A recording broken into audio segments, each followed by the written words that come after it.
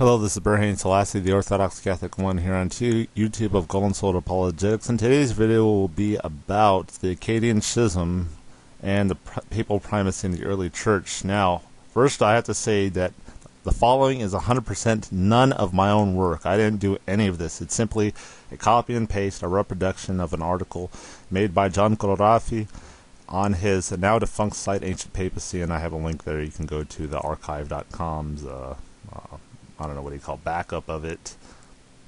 But anyway, here's uh, what his article says.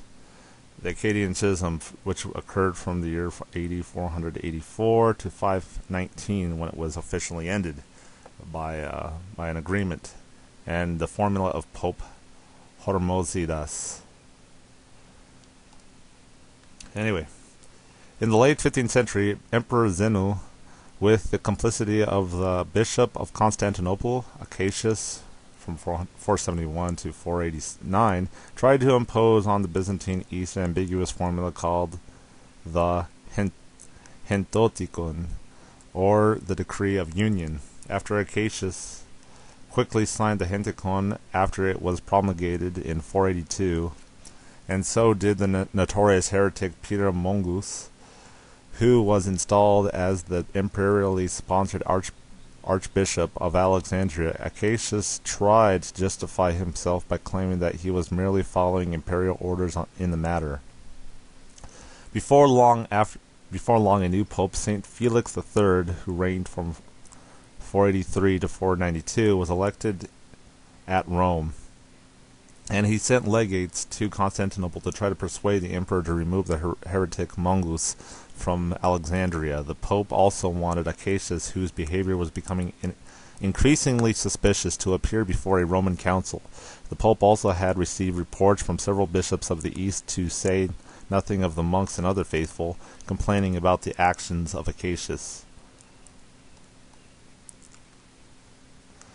When, when the papal legates reached Constantinople, they were thrown into prison and browbeaten into recognizing the heretic Mongus. The Pope reacted in July 484 by holding a council at Rome, which solemnly excommunicated Acacius. The emperor hardened his attitude and tried to coerce the bishops of the East to sign the Henoticon, and during this period Acacius died in 49, anathematized by Rome. His successor, successor Fravitas 489 through 490, not very long, made attempt attempts to contact both the Pope and Peter Mongus of Alexandria. Fravitas died in 490, and his successor at, as Bishop of Constantinople, Euphemius, 490 to 496, took some objectively positive steps. Euphemius accepted the Council of Chalcedon renewed the, commem the commemoration of the Pope in the liturgy, and, and broke communion with the heretic Peter Mongus. However, Rome was one, had one more requirement before the schism could be healed. At Constantinople, the names of Acacius and Fravitas, who had died in schism, needed to be removed from the diptychs or the liturgical commemoration. Because Euphemius was unwilling to take this final step, the, the schism continued. A similar situation existed in the, new the next patriarch of Constantinople, Macedonius II. From 496 to 511, Macedonius accepted the Council of Chalcedon and attempted to send synodical letters to Rome and attempt to reestablish communion, but the Emperor Anastasius 491 to 518 intervened, sabotaging even the attempt to be reconciled with Rome. Meanwhile, a new pope, Saint Symmachus 498 through 514, received an appeal entitled "The Eastern Church to Symmachus, Bishop of Rome." The appeal describes in long in heartbreaking terms the persecution from which the East was suffering and asked Symmachus to use his power of binding and loosing to mitigate the suffering in the East. You can find reference in Mansiv 8 221. Under the successor of Symmachus, Pope Hormis, Hormisdas 519 to 520, the emperor began sending out feelers about an ecumenical council in Heraclea, in in. Thrace. While nothing came out of the council, the Pope did compose a solemn profession of faith known as the Formula of Pope Hormisdas. When a new emperor, Justin, was proclaimed at Constantinople, crowds of the faithful literally demanded the restoration of orthodoxy, the faith of Chalcedon, and also the restoration of union with Rome. Pope Hormisdas sent legates into the East with the formula of faith. Eastern bishops and clergy were to be reconciled with Rome by sending the formula. The schism finally ended in 519 when Patriarch John II, 518 through 520, the Cappadocian signed Rome's formula, along with a great number of bishops, priests, and arch archimandrites. And this is what it reads. It's pretty long, but anyway.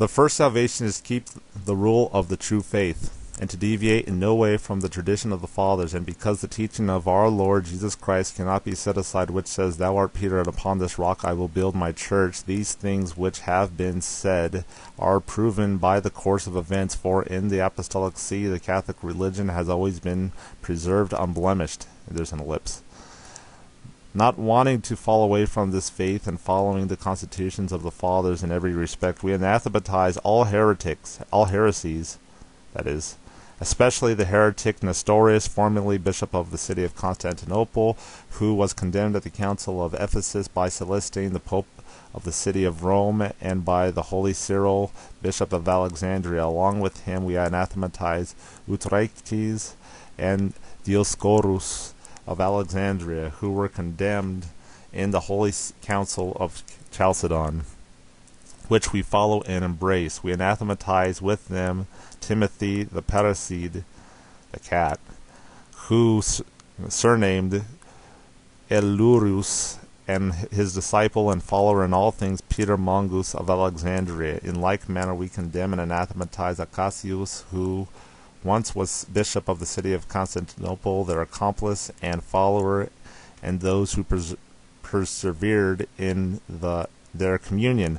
For anyone who embraces the communion of an of individuals receives a similar judgment at their condemnation. We also condemn Peter of Antioch, the fuller, along with his followers. There's an ellipse. Wherefore, as we have already said, following in the matters of the Apostolic See and preaching all its constitutions, I hope that I may merit to be in one communion with you, which is the Apostolic See proclaims, in which is the in- integrity and true solidarity of the Christian religion. I also promise that during the celebration of sacred mysteries I will not recite the names of those who were separated from communion of the Catholic Church, that is, who does not agree in every every respect with the Apostolic See. This profession I have signed with my own hand and offer it to you, Hormisdas, holy and venerable Pope of the city of Rome. And you can find the reference right there. The formula of Pope Hormisdas is found in a collection of papal documents known as Collectio Avel, Avellan, compiled about 550. We do not know exactly how many bishops signed this formula, but a deacon of Rome, Rusticus, writing about 550, said under the emperor said that under Emperor Justin there were about perhaps 2,500 priests who signed the libelli the formula of faith after the schism of Peter Mongus of Alexandria and Acacius. You could find this reference in Patrologia Latina 67 and 1251 through 2. Evidently, not all clerics who signed the formula were bishops. Rusticus does not say how many of them were bishops and how many were from the lower clergy. Anyway, uh, John Collorafi wrote this in 2003. I tried to email him about the copywriter. It's all right if I do this, and he never responded. And everything in here is his own translation, so it's not me, Berhane Selassie, uh, saying any of this. But anyway, from my own comments, I just want to point out is that they had to agree with the Apostolic See, and you're referring to the Pope of the city of Rome. That's who the Apostolic See is in this case. And so they had to agree with everything he taught. They couldn't uh, agree with anyone, embrace anyone that ever taught contrary to what the the Pope taught. And of course, they're quoting Matthew 16:18 as one of their proof texts on why, uh, in, re- in respects to the apostolic see, the Catholic religion has always been preserved unblemished.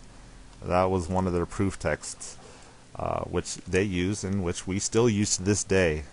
But a lot of people in the East uh, that are in schism still have issues with. But regardless, this was about the Patriarch of Constantinople and a couple of them actually being in schism and being on the wrong side of orthodoxy, whereas today uh, they're now on our side, at least in this matter, though not necessarily in communion with us, the Catholics.